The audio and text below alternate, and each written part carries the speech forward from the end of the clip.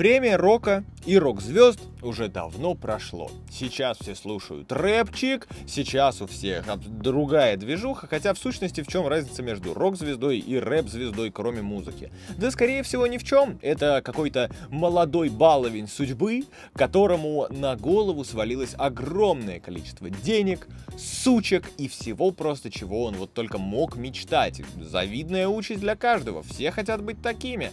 Но действительно ли это такие прекрасные заоблачные горизонты? Действительно ли у них все так хорошо? И почему тогда эти люди так быстро перегорают, пишут песни о своей нелегкой судьбе и пребывают в перманентных конфликтах с большинством своей родни? Об этом этот ролик. Здрасте, вы на канале Сейна.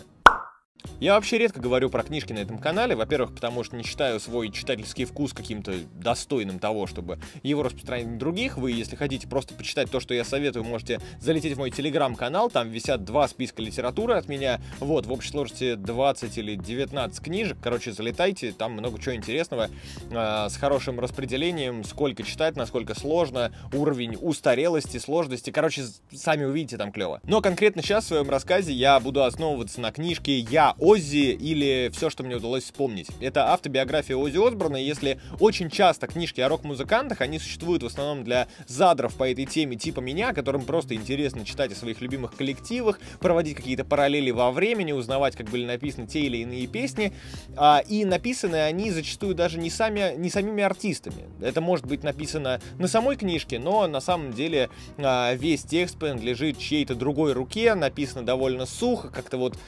вымучено, и многие события, которые в книжке описываются, в действительности не имели никакого места. С книжкой про Ози совсем не так, действительно, у меня есть ощущение, что это он сам написал, и я вам не буду здесь пересказывать очень много из нее, просто вкину пару вещичек. А, то, что прям нужно знать про Осборна, это то, что он обычный парень из Бирмингема, а, в то время очень бедного района Англии, который а, кое-как закончил школу, то есть у него как бы не до конца даже среднее образование, он менее образован, чем вот вы, смотрящий этот ролик.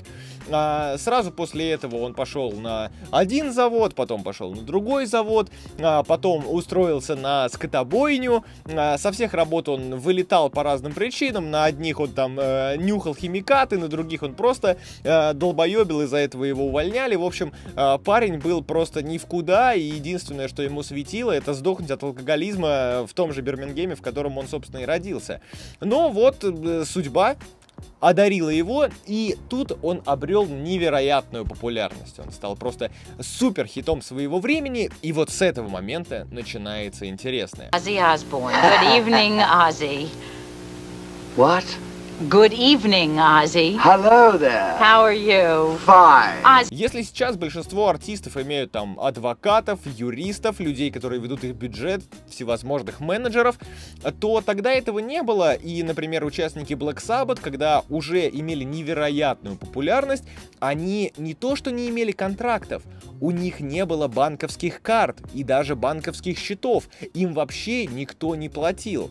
Первое время, как минимум после первого альбома, который уже был хитовым у Сабата, они не получали денег вообще. Каким образом была устроена их взаимоотношение с менеджером? Они могли взять позвонить ему в офис и сказать то, что они хотят.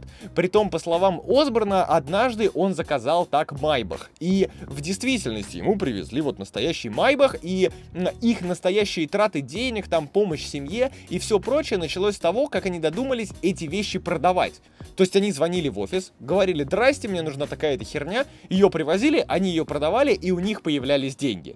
И вы бы, вряд ли хоть кто-то из вас от такого бы отказался, но понимаете, это не совсем нормальное отношение между продюсером и музыкантом. И такое безумие было возможно не столько потому, что это было время такое, а столько потому, что они сами были молодыми долбоебами. И то же самое относится почти к любой вот рок-звезде, рэп-звезде, поп-звезде, кому угодно. А, ужас вот этой вот свалившейся славы в том, что к ней очень сложно быть готовым. На самом деле это вот вещь, которую я просто понял к 20 годам, что ничего в жизни не происходит, как в американских фильмах. Ничто не происходит подготовлено. Как бы вот ты долго идешь к чему-то, и оно наконец-то случается. Фанфары, слоу-моушен, твой красивый ебальник в свете софитов. Ничего этого нет. Эта херня просто... И уже есть. Это просто часть твоей жизни. И то же самое относится к славе. На тебя резко сваливается ответственность, обязательства, деньги, влияние. И помимо того, чтобы тратить бабки и упарываться, тебе нужно еще все это вести, потому что это также может по щелчку закончиться. А у тебя уже нет больше страха, чем потерять то, что ты вот так вот перстом судьбы получил. Про Осборна ходит огромное количество баек, и больше всего а, он известен тем, что употреблял почти все, почти всю свою жизнь. Вот если вы знаете любой наркотик или даже просто а, препарат, который выписывают врачи, но при этом он вызывает какие-то странные эффекты в голове, на нем скорее всего сидел Оззи Осборн. You were joking when you said that, of course. И речь даже не столько про уничтожение собственного здоровья и какое-то неподобающее поведение в обществе. Лучше всего то, о чем я говорю, иллюстрирует ситуация. Однажды Осборн проснулся в тюремной камере. Это с ним случалось вообще нередко, потому что после очередной попойки, вот просто до беспамятства, он оказывался в полиции, его кто-то выкупал, он выходил, в общем, это быстро заканчивалось. Это вам не на митинг в Москве выйти. Однако в этот раз, когда он дождался полицейского и спросил, что произошло, оказалось, что он избил свою жену, и та подает на него иск в суд. А он очень хорошо относился к своей жене. Это, во-первых, это была его вторая жена, первая с ним рассталась из-за того, какой он был нарколыга. Но суть в том, что он обожал свою вторую жену. Представьте просто себя на этом месте что если у вас там нет вашей какой-то э, девушки любимой или какого-то просто любого человека, который вам дорог и близок, представьте, что вы однажды просыпаетесь и узнаете, что вы его чуть не убили. Просто потому, что вы были не в себе. В итоге даже не так страшно попасть в тюрьму или в суд, или э, понести любые лишения из-за этого. Страшно то, что это ты. Что вот тебе она ответственность и свобода, а как именно ей распоряжаться, никто не учит. Именно поэтому я считаю, что э, уйду после девятого класса в бизнес это совершенно безумная история.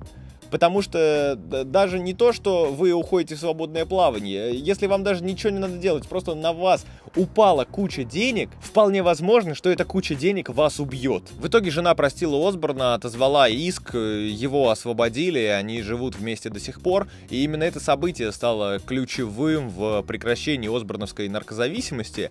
Но вы просто подумайте, до чего нужно было довести насколько далеко нужно зайти человеку, чтобы остановиться, когда у него нет никаких ограничивающих барьеров в духе там за квартиру надо платить или на работу идти. Свобода губительна.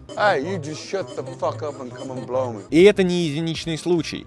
То же самое происходило в группе Red Hot Chili Peppers, когда абсолютно вся группа подсела на героин. Когда солист Мотли Крю вез своего друга, гитариста другой группы, э, просто они куда-то пьяные поехали кататься, наверняка не только пьяные. В общем, кончилось тем, что они на полной скорости въебались в столб на спорткаре. В итоге влетели они в столб как бы половиной машины, и так получилось, что э, солист Мотли Крю был здесь и выжил, а от второго его друга мало что осталось. После этого группа Мотли Крю задумалась, что может стоит немножко остановиться. И подобные истории есть в биографии почти каждого коллектива, который просто вот взлетел, им стало можно все, они чувствовали себя богами на земле, но после этого жизнь давала им что-то, что их осадит. Это было разной степени жесткости. Мастейн рассказывал, как когда умирал его отец, он узнал об этом просто объебанный всем сразу в клубе, а, и он рассказывал, как запрыгнул в свою машину, по дороге дожирал виски, а, и приехав в больницу, въебался в само здание больницы, и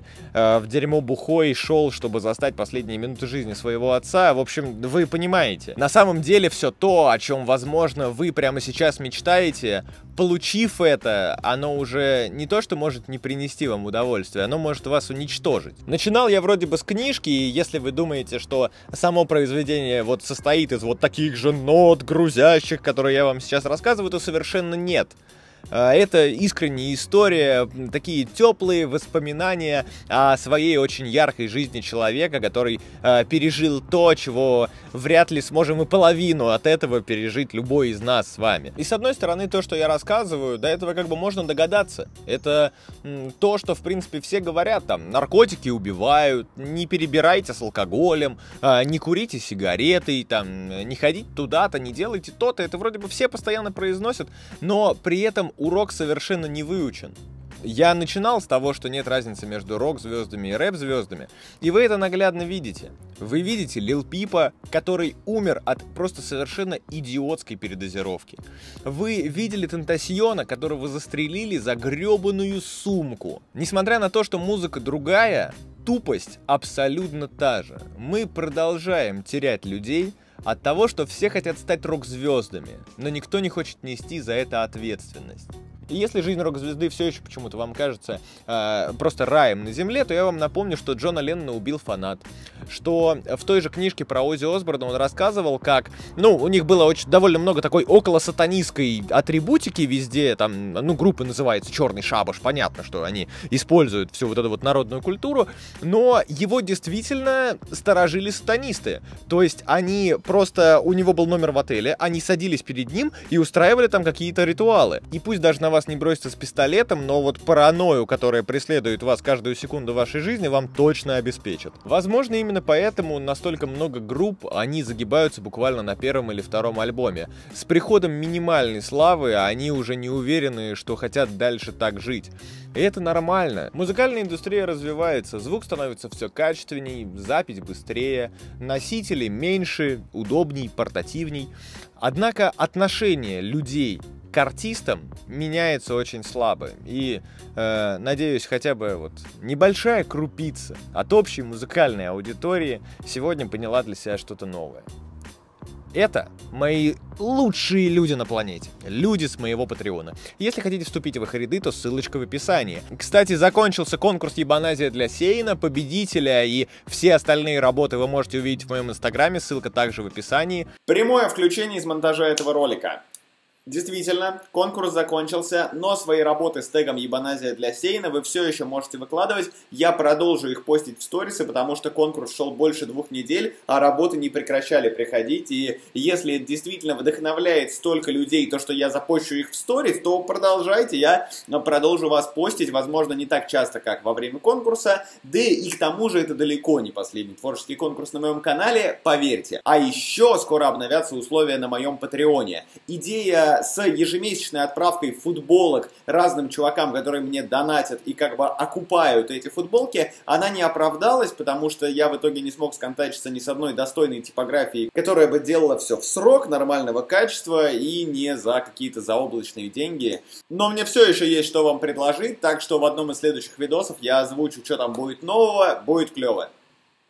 А на этом все. Спасибо, что посмотрели. Вы знаете, где кнопка подписки. Да, группа ВК, телега, другие видосы прямо сейчас увидите.